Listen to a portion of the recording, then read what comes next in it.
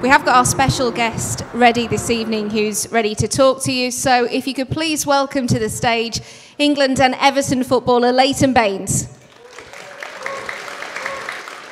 Thanks for joining us tonight, Leighton. And first of all, it's a really good turnout, isn't there, as well? Yeah. And I know you've been having a look around the exhibition. What, what's your thoughts of the mind map? Uh, it looks great. Obviously, I, I had a couple of conversations with, with Phil uh, a few couple of months back, and he showed me some bits of uh, what he'd been doing and trying to put things together, and you know, seeing it come together, you know, the event and the site, the exhibition and stuff. It, it looks looks really good. And mental health has become quite a topic in sport and in football at the moment. And do you feel it's becoming a more open subject within football? I think it is. I think within football, within you know society generally, it's uh, becoming something people seem to be more comfortable opening up about, which is obviously only a positive thing.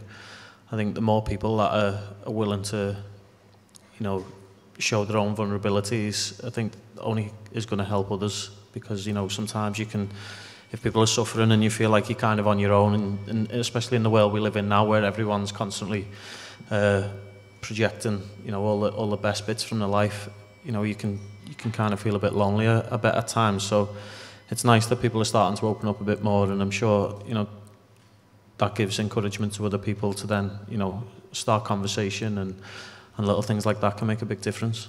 I'm sure you've heard this before, but a lot of people look at footballers and think, why would they be stressed? What, you know, what have they got to worry about? Their lifestyle is a dream. But you've recently spent three and a half months out injured, getting back into the team. How does it feel for you? Because you love playing football. That must be frustrating. How does it make you feel when you can't play?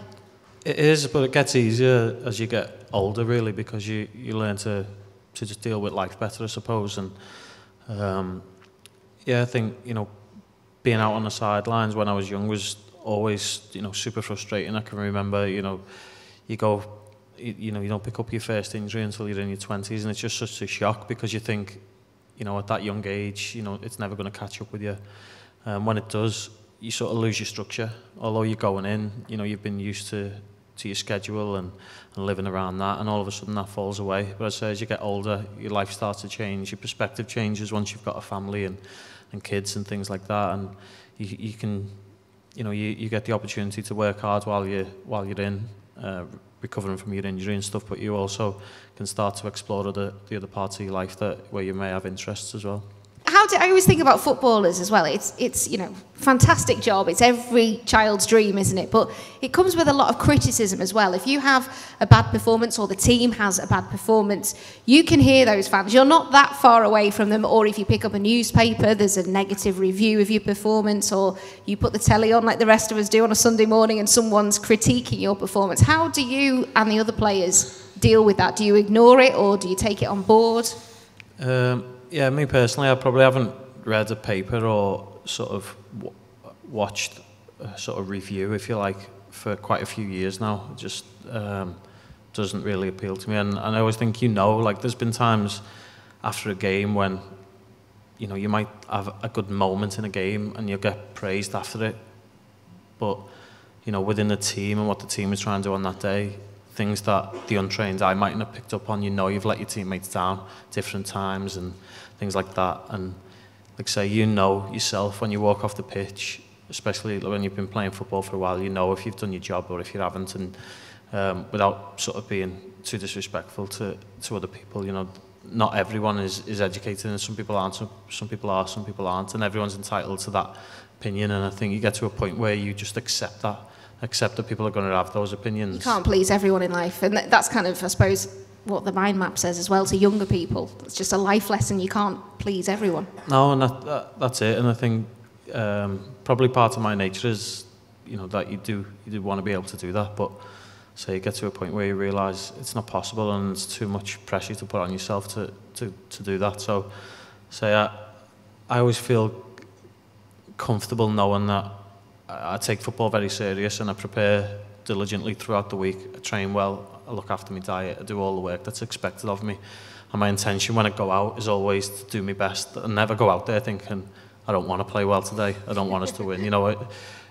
And you know, by doing all the right things, I can look myself in the mirror afterwards, and if it didn't go well, I can I know that I did everything that I could, um, give myself the best possible chance. It just those things can happen. You have a lot of hobbies, so how do you relax away from football, and is it important for you to have that time totally away from the game? Yeah, that's something that's probably happened more and more uh, as I've got older. Is, um, just naturally, really, it's probably become more space between me and, and football as a as an interest in terms of following it and watching it and, and things. And uh, yeah, I'm mostly just walking around town and. Uh, you do street photography, don't? For those that don't know, you do street photography. Yeah, I've enjoyed getting into photography and um, yeah, just general, just normal stuff. Reading, I'll be sitting around town reading a book in different coffee shops or taking. And, and no one notices it's you. Uh, sometimes, yeah. I think everyone most people are used, used to me just like hanging around and annoying people. So taking your camera out. Yeah. is that something that you like to, to look at for you know when football is finished? You know, getting into something like photography or or you your know, music you're into as well. Yeah, you know, I've got I've got no idea at the moment. Football's kind of all I've ever known, um, and that you know at, at this stage is a time when y- your mind can start running away with itself again. You know, you're coming towards the end of your career and everyone seems to want to know, you know, what's next, and I, you know, you just don't know. And like I say, I don't know anything else. I've got interest, and people often say that to me, "Oh, you'll be okay. You're into other things," but you know, they're like I say, they're just interests and hobbies. I don't really know how to do any of them well, so. You know, so you're not going to be a wedding photographer or something? Oh, I mean, you never know. Someone offers me a job, I might come yeah. and do it. But um, they're things I enjoy and it's fun and it, it'd be amazing if, you know, after doing something I'd always wanted to do, I could then go in um, and find something else that, that's fun and that I enjoy. But yeah, uh, who knows? We've been mentioning tonight, obviously, about football and sport in general. I think now is well aware. We've even seen the royal family getting involved in, you know, mental health issues and promoting the fact that it's okay to talk about them. And we've seen the likes of Frank Bruno, Clarke Carlisle, Victoria Pendleton, these people who you look at and think, wow, they've got great careers, but they've all come out and said, I've also got my own mental health issues and I'm being open about it. And I know you work with Everton in the community as well, which does a great job. Do you think now we're at a turning point where sport and, and football is going to look at mental health in a different way and say it's fine to talk about it now. It's it's not weak. I think we are getting there, and, and hopefully things will continue to, to improve. And the more people, you know, that, that do come out and, I say, show those vulnerabilities, then you know, the more it may encourage uh, other people to, you know, even if it's not, even if you're not comfortable and you don't want to come out and talk about it, um, just feel consoled almost in a way that you know you look into these people whose lives maybe look perfect and know that you know it's not the case. No one's life's perfect. Everyone's dealing with something.